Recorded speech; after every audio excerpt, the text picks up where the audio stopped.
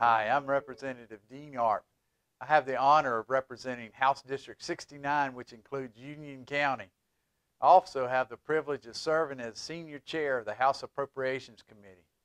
This week, North Carolina House approved several important bills, most notably another round of COVID-19 relief.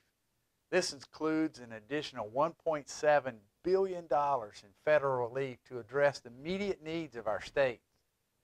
Thanks to responsible budgeting by the Republican-led General Assembly over the past decade, North Carolina is in a strong financial position to meet the challenges of COVID-19.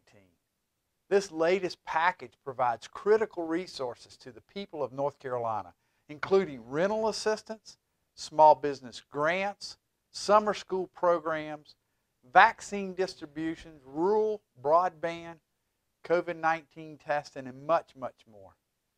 At the end of the day, we must reopen our state and schools. While the governor has vetoed these efforts, this bill will help North Carolinians get back to work and school in a safe manner. This week, the North Carolina House also approved bipartisan legislation to increase the number of spectators allowed to attend school sporting events and graduation ceremonies.